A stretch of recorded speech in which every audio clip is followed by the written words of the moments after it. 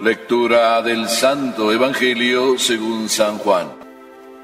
En aquel tiempo Jesús dijo a los fariseos, Yo les aseguro que el que no entra por la puerta del redil de las ovejas, sino que salta por otro lado, es un ladrón, un bandido. Pero el que entra por la puerta, ese es el pastor de las ovejas.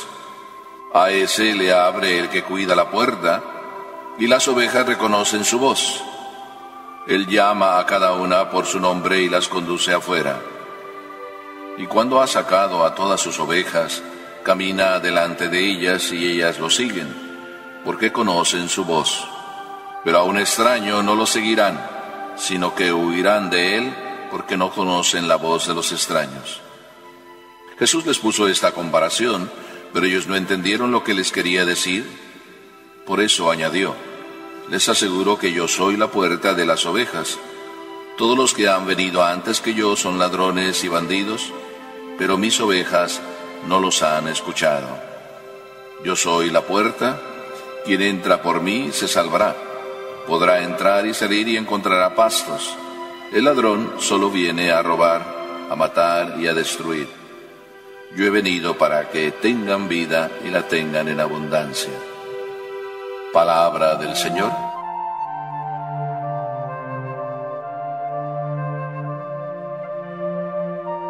Estaba en una casa hace mucho tiempo y la mamá a los perritos les daba órdenes. A ella le hacían caso de una manera o de otra, pero cuando el esposo les hablaba, aquellos perros eran muy obedientes. Y yo me quedé escuchando qué era lo que hacía el esposo y cómo se dirigía a los perros. Entonces yo dije, ya sé cómo dominar a estos perritos. Tenía que decirles, siéntate, acuéstate, tráeme la pelota, cada una de esas frases en inglés. Siéntate, sit, slow down, down, down, give me the ball, tráeme la pelota. Pero aquel animal, cuando yo le hablaba, se me quedaba como viendo, diciendo, ¿y esto de qué va? ¿De qué va? Y entonces me dijo el esposo, mira, es que no solo consiste en que tú les hables y les digas la palabra mágica, sino que también reconocen la voz. Los perros, ustedes saben, no ven, no reconocen al amo por la vista, lo reconocen por el olor o por la voz. Por eso cuando llega un extraño a una casa, lo que primero hace el perro es acercarse ahí a los pies a ver si huele, como huele la familia y si no, pues para irse acostumbrando a aquel olor del nuevo visitante. En aquella casa, como soy un visitante bastante frecuente, los perros no me ladran, pero no me obedecen tanto, tanto. Al único mandato que logré que me obedecieran es give me the ball, como que divertirse si les encanta. Cuando el amo está, más bien están pendientes de qué dice el amo. Como cuando uno le pregunta una cosa a una niña o a un niño, y al lado está su mamá. Ayer le estaba preguntando a una niña, ¿tú quieres ser feliz? Y en vez de responderme, se puso mirando a su mami, como diciendo, tengo que preguntarle a mi mami a ver si me deja ser feliz. Pues a aquellos perritos también pasaba lo mismo. Pero la palabra y respuesta que yo logré entender es, escuchan y reconocen la voz de su amo. No es tanto lo que dice, sino el tono y la voz del amo. En cierta manera, nos pasa lo mismo con Papá Dios. Papá Dios, ¿cómo lo reconocemos? Porque escuchamos unos mandatos venidos de Él que también nos pueden venir de otro lado, nos pueden venir de nuestros hijos, nos pueden venir de un padrecito, nos puede venir de una circunstancia, pero a lo mejor no escuchamos esas palabras. Tienen que venirnos de la voz de Papá Dios. Por tanto, Jesús viene a decirnos a quién hay que escuchar. En esta semana la podemos llamar la semana del buen pastor. Vamos a seguir la semana hablando del buen pastor, porque es importante que descubramos al buen pastor.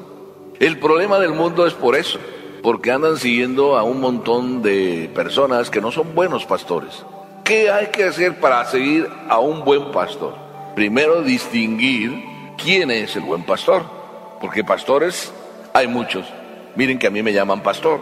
Y si nos vamos a cada esquina, en cada esquina hay pastores. Entonces, ¿a quién hay que seguir? Jesús aquí nos dice, el verdadero pastor es aquel que conoce y que las ovejas lo conocen por la voz. ¿Cómo puedo reconocer a Dios? Esto es bien sencillo. Si yo sigo la voz de Dios, todo se me va a hacer simple. ¿Y por qué entonces nuestra vida la complicamos? Porque no andamos oyendo la voz del pastor.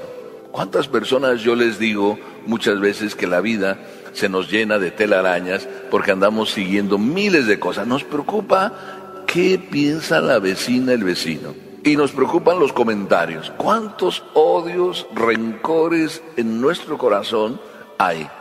Y todos nacidos porque la comadre dijo que yo no sé qué. La suegra dijo que yo no sé qué. Y miren qué sencillo escuchar la voz de Dios. ¿Qué te dice Dios? Dios te dice que Él es el único juez y que nadie debe juzgar a nadie.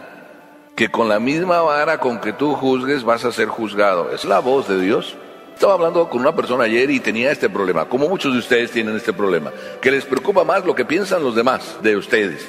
La niña era lo mismo, que le pregunté, ¿quiere ser feliz? Y la andaba preguntando a su mamá, como si ella no supiera cómo ser feliz. ¿Cómo ser feliz? Pues siguiendo la voz de Papá Dios, que significa hacer lo que Él me pide. Cuando alguien hace un comentario y habla mal de mí y me critica, es bien sencillo resolver el problema. Si aquella persona me critica, no me preocupa para nada, ni me debe preocupar para nada lo que todo mundo piense de mí. Y mi vida entonces se simplifica. Si ustedes hicieran caso de esa frase que alguna vez les he dicho, después de lo que Dios piense de mí, todo me viene guango. Después de lo que Dios piense de mí, y yo sé lo que Dios piensa de mí en cada instante. Por tanto, si alguien anda diciendo un comentario sobre mí, y es verdad, no me tiene que preocupar, yo ya lo sabía. Alguien me dijo un día, padre, andan diciendo que usted está loco. Pues no te preocupes, que mi hermana ya cuando era niño me lo decía, o sea que no es nuevo para mí, no me preocupa. Sin embargo, a nosotros a veces sí nos preocupa lo que dicen los demás. Pues si es verdad, corrígelo. Y si no es verdad, y lo andan diciendo, ¿para qué lo crees? Si no es verdad. Y tú lo sabes que no es verdad. Entonces, si empiezas a creerlo, quiere decir que te preocupa más lo que piensan los demás que lo que piensa Dios. La voz de Dios la estás escuchando y Dios te dice, ¿cómo eres tú? En cada instante. Es como si tú vas al espejo. Oye, cuando tú te presentas al espejo, ¿cómo te dice el espejo? Oye, si pesas 200 libras, no te va a decir, tú eres la más flaquita del mundo. No lo va a decir el espejo. Te va a decir simplemente, bueno, si quieres ser la más flaquita, pues empieza por cerrar la boca cuando comes, pero no te va a mentir el espejo. Así tu conciencia no te va a mentir y la voz de Dios ahí está. Por tanto, ¿quieres seguir al buen pastor? Escucha su voz. Después dice el Evangelio que la otra forma como se descubre al buen pastor es que el buen pastor a cada uno de nosotros nos llama por nuestro nombre. A cada uno de nosotros. Es como nuestra mamá. Yo recuerdo en una escuela, los niños me conocían perfectamente y sabían exactamente cómo obraba, porque los niños lo estudian a uno perfectamente. Así es de que entonces le dije a este niño, Paco, porque no andaba haciendo las cosas bien. No me escuchó. Entonces le dije, Ramírez, tampoco me escuchó. Entonces le dije, oye tú, cuando le dije, oye tú, y con seriedad, pues dice, ya ni por mi nombre me reconoce, ni por mi apellido, me llama simplemente tú, o cuando el padre ya dice simplemente, oye tú, uh, espérate. Es como la mamá que conoce perfectamente a sus hijos, que les llama por su nombre y a veces ni siquiera le llaman por su nombre, les tira una miradota que con esa miradota los congela. Diversas formas de hablar ¿Conoce sí su nombre? Sí, pero también sabe usar otro medio para poder mandar. El buen pastor es así. Y el ejemplo lo tenemos en Jesucristo, que llama Pedro, le llama Simón y algunas veces le llama Satanás. Apártate de mí. Depende qué le quiere decir. También a los fariseos le llama Nicodemo, le llama también Simón, pero también les llamaba hipócritas sepulcros blanqueados. Depende qué mensaje quería decirles, con el nombre lo transmitía, con la palabra que usaba para dirigirse a ellos. Y así es Papá Dios con nosotros. Pero cuando el demonio nos habla, el que no es pastor, entonces el demonio nos habla y nos dice, tú eres la persona más bella. Nunca nos dice la verdad. Es el arte del demonio, la mentira. Pero Papá Dios es claro.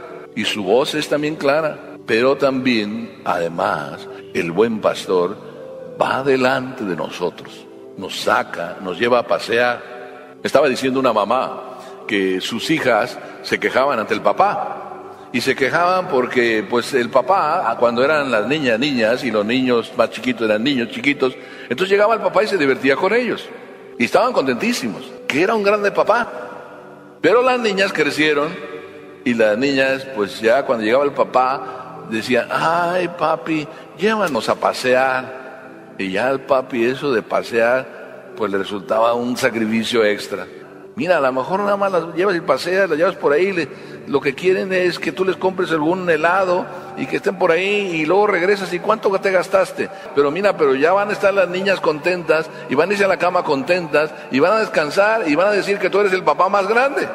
Qué verdadera ese comentario de la mamá. Y como él todavía no se convencía, le tuve que convencer yo.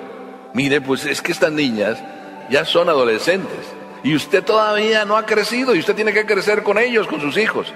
Se divertía muy bien cuando eran niños sus hijos y se divertía con ellos y se la pasaba en grande. Pero ahora que ya han crecido, también usted tiene que crecer y darse cuenta al crecer que si se trata ya de estar con un adolescente, tiene que comprender que el adolescente ya no es igual. Y si usted mantiene al adolescente contento, pues el adolescente crecerá contento y usted seguirá también contento y contento el pastor y también contenta las ovejas. Ah, pues no me había dado cuenta. Pues empieza a darse cuenta. Descubrimiento maravilloso. Hay que crecer. Y el pastor crece con las ovejas. Sabe que necesitan salir y las lleva afuera. Y no solo las lleva afuera, va adelante, guiando a las ovejas a pastos, a comida, a lugares, a descansar. Esto es el buen pastor. Así es Dios.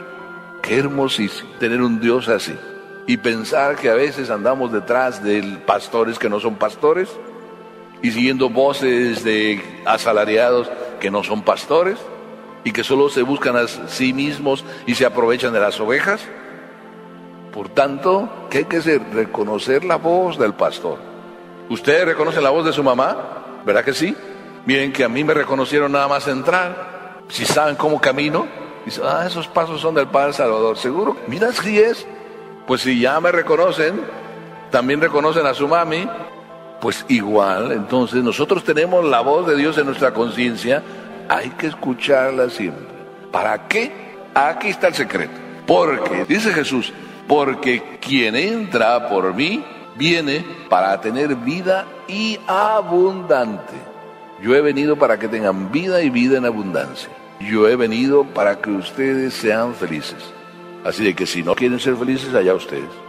Pero la verdad, yo les puedo decir que mi vida toda entera he vivido siempre la alegría de la entrega a Jesús. Desde mi casa. Mi padre siempre era alegre. Y cuando me fui al seminario, la única cosa que me dijo, ya me la han oído, me dijo, si vas a ser un cura triste, mejor ni te vayas. Porque un cura triste es un triste cura. Así de que si ustedes van a ser católicos amargados, oh, mejor cámbiense de chaqueta. Qué hermoso es, tan sencillo como decir, Señor, yo quiero escuchar tu voz, hoy, mañana y siempre.